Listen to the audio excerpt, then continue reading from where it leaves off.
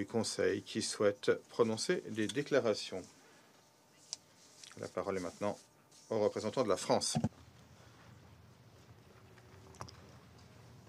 Monsieur le Président, je tiens tout d'abord à remercier le secrétaire général adjoint aux opérations de maintien de la paix, M. Jean-Pierre Lacroix, pour son exposé très éclairant et pour l'engagement sans relâche de la MONUSCO auprès des Congolais.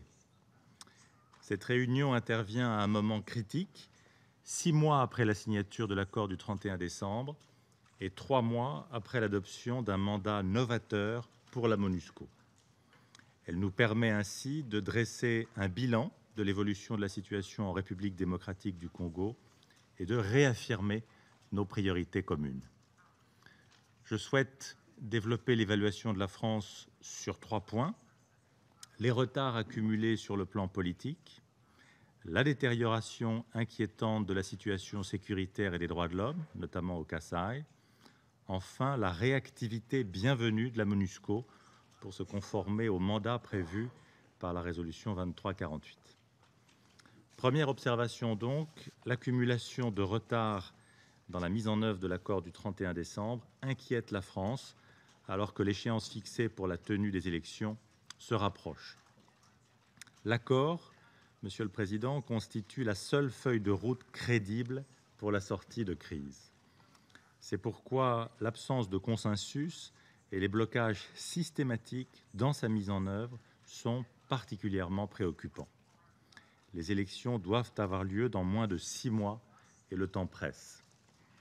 Il est donc urgent que le gouvernement prenne les mesures nécessaires pour réaffirmer son engagement à respecter les dispositions de l'accord. L'organisation des élections, la mise en place effective du Conseil national de suivi de l'accord, ainsi que la mise en œuvre des mesures de confiance sont ainsi prioritaires. Nous saluons les progrès accomplis concernant l'enregistrement des électeurs. C'est une avancée positive et une dynamique qu'il faut poursuivre. Nous déplorons cependant les retards du processus dans trois provinces du Kasaï et à Kinshasa en particulier, et nous appelons les autorités à prendre les mesures nécessaires pour finaliser l'enrôlement et le fichier électoral. Je souhaite souligner que le respect des échéances fixées par l'accord est essentiel. La France appelle les autorités congolaises à prendre dans les meilleurs délais toutes les mesures en vue d'organiser les élections et rappelle la nécessité d'une publication urgente d'un calendrier électoral conformément aux dispositions prévues par l'accord du 31 décembre. Ces avancées sont d'autant plus urgentes que les, que les blocages actuels conduisent déjà à la multiplication des zones d'instabilité dans le pays.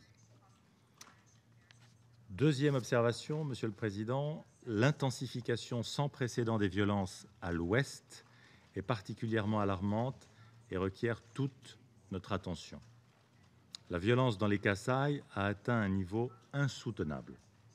Les affrontements entre les forces armées congolaises et les membres de la milice Kamwina Nsapu font payer un lourd tribut aux populations, comme le montre l'accroissement continu du nombre de déplacés et de réfugiés. Nous sommes également très préoccupés par la propagation rapide de l'insécurité jusqu'au Tanganyika et par l'accroissement des conflits intercommunautaires dans ces régions. Je me joins à ce titre au secrétaire général pour condamner de la manière la plus ferme les attaques et appelle les belligérants à poser les armes afin de mettre fin à ce climat d'insécurité aux conséquences humanitaires désastreuses. Les évasions de détenus qui se multiplient dans des proportions inhabituelles ajoutent aussi à l'insécurité croissante.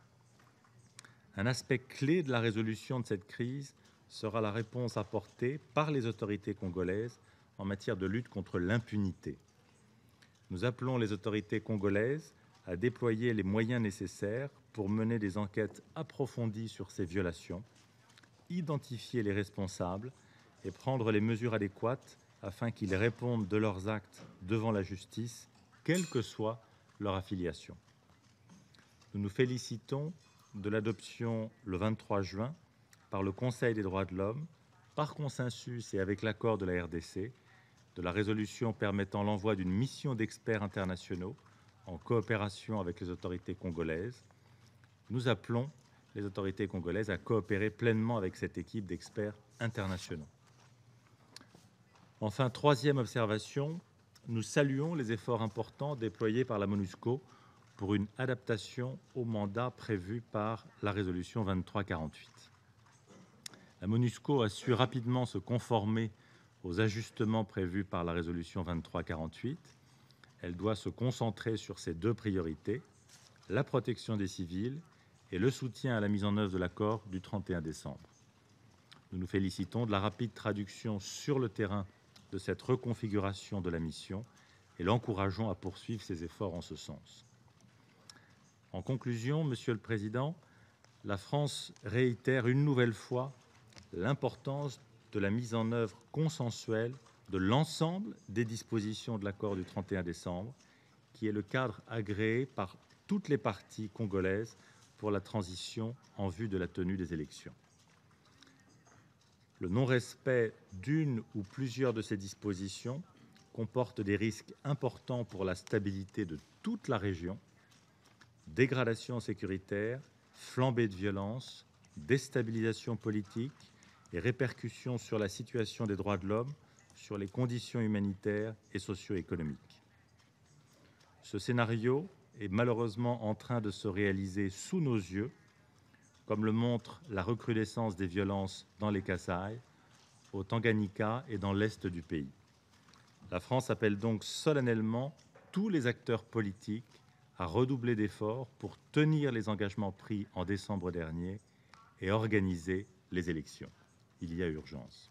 Je vous remercie.